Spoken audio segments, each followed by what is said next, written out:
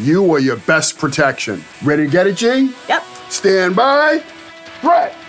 With the way things are going in this world, you need confidence and peace of mind that if harm comes your way, you'll be okay. When seconds count and police response times are minutes out, you need to take control of the situation by getting the training you need. I trust all my self defense training to Hank Hayes and ISP. Intuitive self protection, elite self protection training for the everyday person.